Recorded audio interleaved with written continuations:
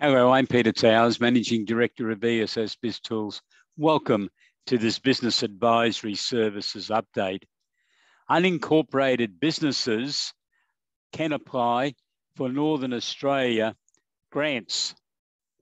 The Northern Australia Business and Community Growth Program has been announced by the federal government, and this indicates that sole traders and partnerships, as well as incorporated associations, incorporated not-for-profit organisations, and Indigenous organisations re registered under the Corporations Aboriginal and Torres Strait Islander Act can apply for this new grant for businesses or organisations that are situated in Northern Australia, which is north of the Tropic of Capricorn in Queensland and Western Australia, and the whole of the Northern Territory.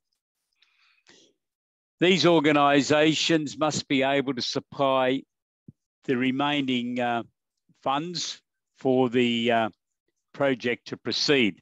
So the projects could include buying, constructing, installing or commissioning of plant and equipment, construction of uh, new infrastructure, upgrade, renovation or extension to existing uh, infrastructure, such as buildings and laboratories, replacement of infrastructure, where there will be a significant increase in benefits, feasibility studies, environmental uh, approval applications, the cost of those, scaling up activities related to the business opportunity. So there's a wide range of activities that the businesses or organisations can be involved in. The project must be located or will have significant benefits for Northern Australia. So that's very important.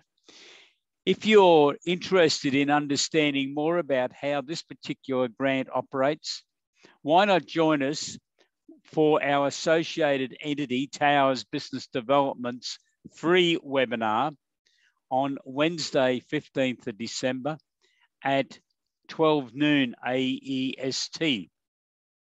To register, please go to www.towersbusiness, that's T-O-W-E-R-S-B-U-S-I-N-E-S-S dot com dot au. I look forward to talking to you then when we can give you a uh, fuller overview of how this grant will operate. Stay safe and have a great day. Goodbye.